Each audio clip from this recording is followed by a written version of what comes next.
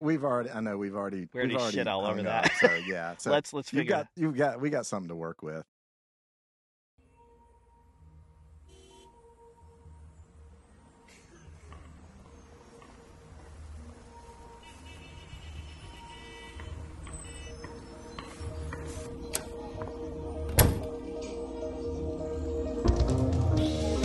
Welcome to Two Designers Walk Into a Bar. A place where pop culture creatives Discover design icons that make us tick. and we share a few cocktails in the process. Yep. Todd, as we discussed, there was so much good material we shared for our movie logos that we just ran out of time. Yeah, right about the time listeners were running out of patience. So it worked out. But hey, we're back. You, the listeners, are back. So let's tie up our movie logos with a bow. And move on to just a little more of some Hollywood stories when two designers walk back into a bar.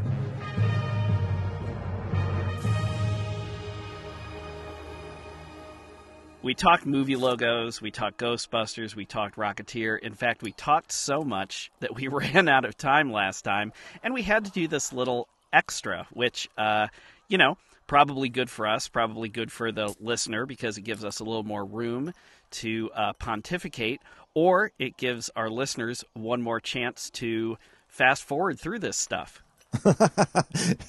exactly. You're not going to want to fast forward through this stuff. Yeah, hopefully not. Um, so I thought a great place to start, picking up where we uh, last left off, was uh, let's talk Ghostbusters, let's talk the logo, and let's talk about the ways that it worked and the reasons that it worked. And then we Yeah. can chat Rocketeer, and then we'll jump into your juicy Hollywood story. How does that sound? Rock on, man. All right, cool. So, three things I think about the Ghostbusters logo that made it great, just to summarize. So, first, it was based on an international symbol, the no sign, right? The circle with the slash through it. That's something everybody understands the world over. So, there wasn't any kind of language barrier there. It was just a great, instantly recognizable icon. The second thing that I feel makes it great, as we discussed, it was used appropriately in the movie. It was used on clothing, on vehicles, and signage, and so forth. And that really adds to the believability of it. It was the logo for the movie, but it was also the logo for the business in the movie. And that's just wonderful to me. And the third thing is the luck of timing. When we talk about pop culture, I think so many of these things always boils down to creativity, but another reason is good timing, right time, right place. This movie came out in the mid 80s when people were very logo conscious. Think about Coca-Cola clothing. You remember that in the mid 80s all these oh sorts of things? Oh my gosh, yes. right right so logo consciousness designer labels nike was really starting to take off and become big in a very brand conscious sort of way so it easily plugged into the logo culture during that time and uh, there's sort of a nod to this if you go back and you watch the ghostbusters movie as they start to become popular and as they start to become famous, do you remember the media montage in the movie where they're on Larry King, they're on the front page of USA Today, Right, and all these right. different sorts of things? They're plugging products and all this stuff. So there was a total send up of pop culture, even within the movie, that made it great. Mm-hmm. Mm-hmm. I love, love, love Ghostbusters, as we've talked about. And you, of course, love The Rocketeer. So I would enjoy hearing just top line for us what are the three things you feel make the Rocketeer logo so successful? Sure. Well, there's a couple. Uh, there's actually some similarities as I'm thinking about it. The one thing is um, it it is sort of it's about Hollywood. It's a Hollywood movie about Hollywood, which you know we're going to talk about that in a little bit. But the first thing that I think we have to mention is, as you and I said, this movie, The Rocketeer, which came out in the uh, early '90s, has developed a huge cult following, but it really performed poorly at the box office. But it's a beautiful movie. It is definitely of the time. They went through great uh, lengths to make it look like Uh, it was the 1930s in Hollywood. So that's two things. And the last thing is something that I think ties both of these movies together is uh, they sort of are scenes within scenes. Um, with the Ghostbusters, as you said, it's obviously it's a business. They're wearing the logo. Uh, things are happening, um, as you just said, with the media montage that puts it sort of like, is this real? Is this not real? Uh, and with the Rocketeer, that same thought is kind of tied up in these deep Hollywood tropes, um, definitely of the 1930s. Disney did a great job with this, making it look and feel and sound like the 1930s. There's this dashing leading man, as you would expect, who is the hero, who, who is the Rocketeer, Cliff Secord. Uh, then there is the Cad, played by Timothy Dalton, who, as you mentioned, was also playing James Bond at the time. There were Nazis, because you've got to have universal bad guys in any kind of Hollywood story. And then it ties into some Hollywood lore. Like uh, you had mentioned, Howard Hughes uh, is in this, not the real Howard Hughes, as we said. And then there are some cool things that happen involving uh, Hollywood itself. And that's what we're going to talk about a little bit more now. That's awesome. Let's jump in. I'm curious. But I've got a tiny trivia question for you because I know you love the trivia. I do. Um, all right. Do you remember Harold Ramis's character's name? In Ghostbusters? Yeah. Egon Spengler. Okay. Do you know where the name comes from? I forget. Okay. Uh, interestingly enough, remember when his character Egon meets um, oh god, what's the um, the the assistant's name? The lady Janine. Um, Janine yeah. Melnitz. yeah, she's under the he's under the desk, you Yes. know, and hooking up. And sh- she's like, "Oh, I play racquetball, and you know, I read a lot, blah blah blah." And, and he's and then he comes up and he says, "Print is dead." Yes. Okay, so here is a little bit of meta fun for you. So, Egon Spengler, the name Egon was an exchange student, best friend of his in high school, a Hungarian exchange student. Spengler comes from Oswald Spengler, who was a futurist at the turn of last century in early 1900s. And he predicted, he did a lot of sort of media predictions and he said that this media, blank media, would be the cause of Western decline. So, what media do you think he was talking about? Mm. Social media. No, I'm kidding. I was going to say he'd be a damn good futurist it, if he yeah, figured that yeah. out. I mean, geez, I would say, you know, probably something like movies. Well, telegraph, actually. Oh, Um, this, we're talking like 1910 here. The telegraph was going to be the downfall of Oh. Western civilization. oh. so, anyway, people were alive now, boy, howdy. Um, he would realize that Western civilization's still chugging along, and really, I would argue Western civilization contributed to the downfall of the telegraph. that would be uh, now that actually is a twist on the meta isn't it okay speaking of meta back to the rocketeer for a second so at the end of the movie again not giving a whole lot away but one person flies into the uh, hollywood land sign Wait, wait, wait, wait, wait. What do you mean Hollywood land? Okay. So we're everybody in in the whole world is familiar with the Hollywood sign that sits on Mount Lee in the Hollywood Hills. It was first created in 1923 as a very temporary sign to advertise some bougie housing development called Hollywood Land. So just like the Hollywood sign, but L A N D on the back end of it. So here's the funny thing is I started researching because that sounded like a classic trope, right? The Hollywood sign and even the destruction of it. So I started, there are sites dedicated to the Hollywood sign. So this is what's funny is they fall into three kind of basic categories. By far, 75% of the movies that you see the Hollywood sign in, it's an early part of the movie or it's scene setting in some way.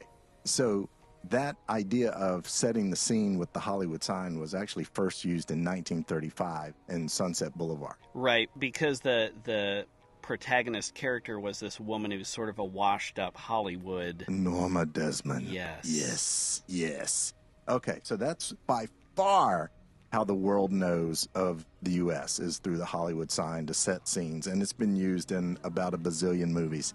The second way, which is a little bit more esoteric, is it kills people. Uh, okay. It this falls this, on this begs further explanation. Yeah. Okay. or or you know it's some kind of like secret portal to another layer like an austin powers Goldmember um it, it's took place Okay. it's all right but a third way which is also used quite a lot like it was in rocketeer is uh, the hollywood sign gets destroyed in some way Okay. uh, this this first started in the movie Earthquake in 1974. I'm sure as a one year old, it was probably one of your favorites. I loved it. um, I would watch it every day. Yeah, yeah, yeah. So, um, and you, you talked about John Belushi. See, we're going to tie so many things together with this trope here. Oh man.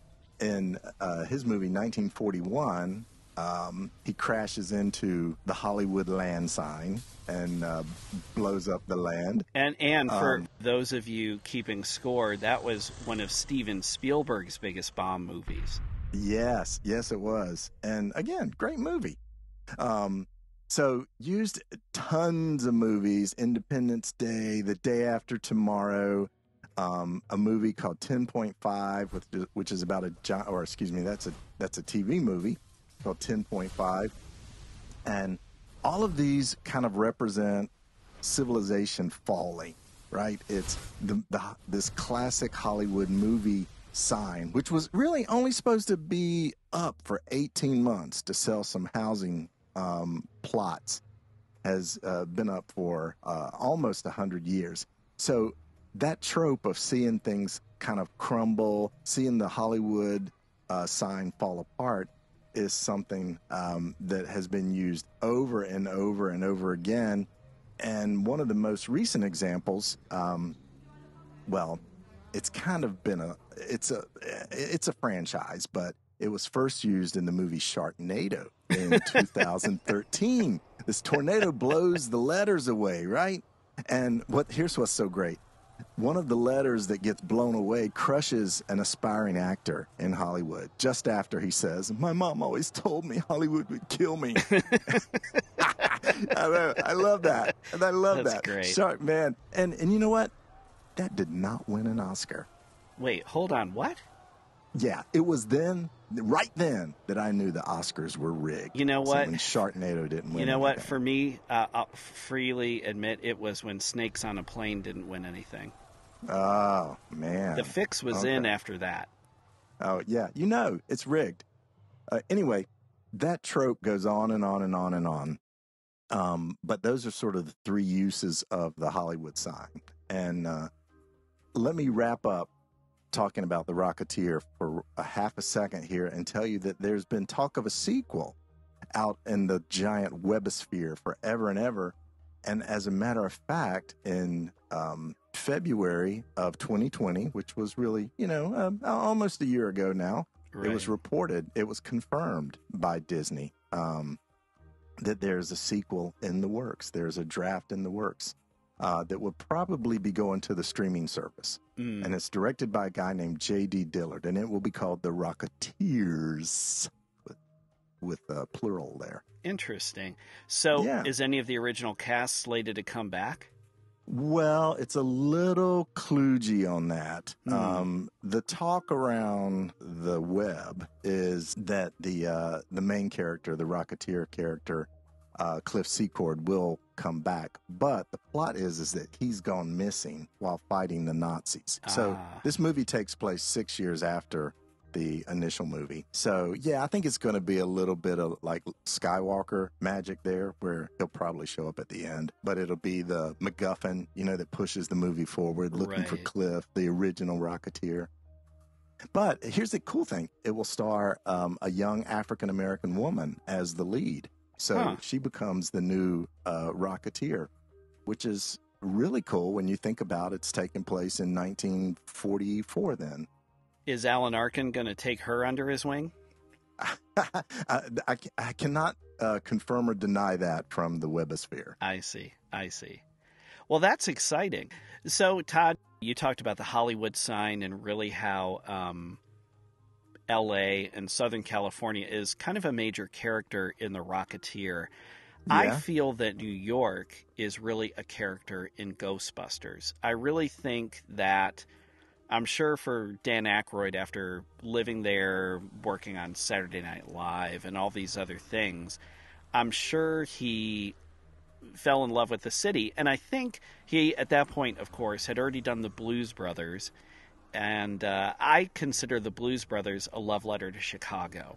So, absolutely, in that yeah. sense, I think it it only is fitting that he would also sort of make a love letter to New York. And to me, when you think about the locations, the fire station at Tribeca Fire Station, right, you think right. about the New York Public Library, of course, in the opening setup, and right. uh, you think about the apartment building at Central Park West and Tavern on the Green across the mm-hmm. street, where mm-hmm, Louis mm-hmm. Tully is banging on the windows to no avail while the swells watch him get eaten by a demonic hound. um, and uh, Columbia, the mystery college that they got mm-hmm. uh, kicked mm-hmm. out of, was. Turns out it was Columbia University. And from what I remember, Columbia basically said, We'll let you film here, but we don't want you to say in any way, shape, or form it's us. oh, and I think it was in case the movie was a bomb. Um, yeah, yeah. Right. So as a result of that, my son and I, I have a, a, son in his early teens, and he grew up watching Ghostbusters. I would I introduced him to some of my favorite movies when he was pretty young, and uh, when we were up in New York, we've taken some guys' trips to New York together and things like that. He and I have been to Dana Barrett's apartment building near Columbus Circle. We've been to Columbia's campus. We've been to the reading room at the New York Public Library. We haven't made Mm-hmm. it to the fire station yet, but it was really fun when we got up to Columbia. We were walking around, and I said, You know, this is a pretty nice college campus, isn't it? And he's like, Yeah, yeah, it is.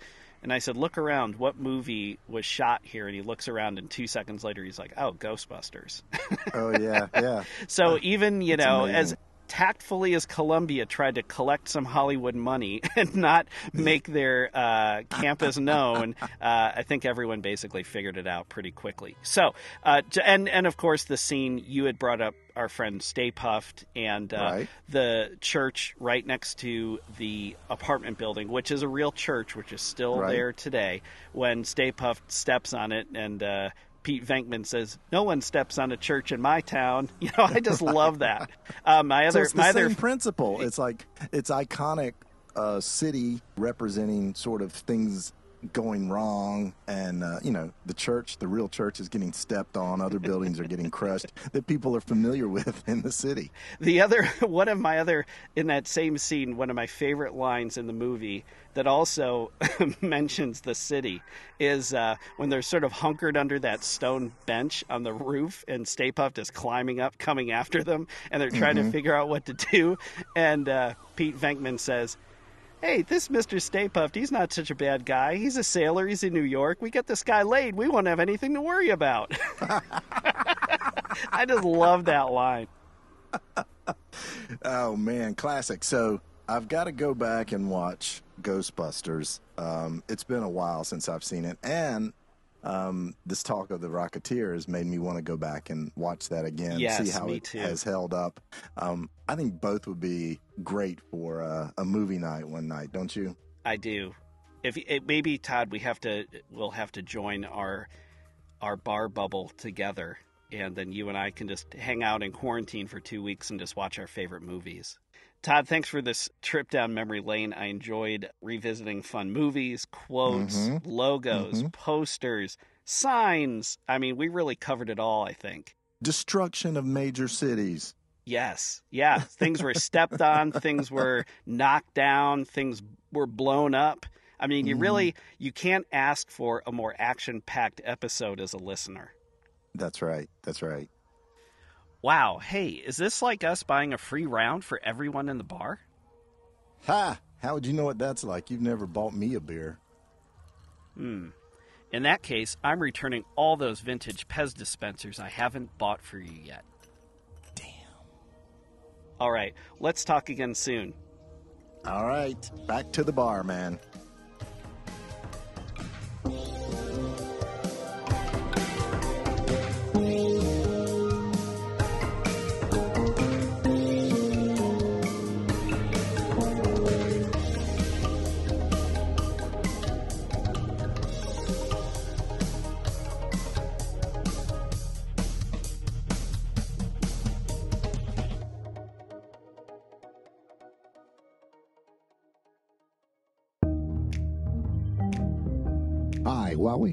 Attention, if you want to learn more about us and the podcast, there are a few ways to do it. Visit our website at two designerswalkintoabar.com. All of that is spelled out. No numbers. Kind of a long URL, so do yourself a favor and bookmark it. Once you're there, you can find links to more information about the subjects in this episode, our episode archive, and information about both of us. Wait, we do want people to visit, right? Oh, and look for us on social media. You can find those links on our website as well. And while we're at it, if you have a friend who you feel will dig on our rambling, Tell him or her what we're up to. While we can't guarantee that they will remain your friend, we can guarantee that they will listen to at least 30 seconds of whatever episode you send them the link to. That's being a little shameless. And speaking of being shameless, it wouldn't be a proper ask if we didn't mention that if you like what you hear, you can also make a donation via our website. We have a Nigerian prince handling all transactions for us. In fact, he told us to mention that we have stickers to mail to anyone who donates $10 or more. Are we done? We're done. We're done.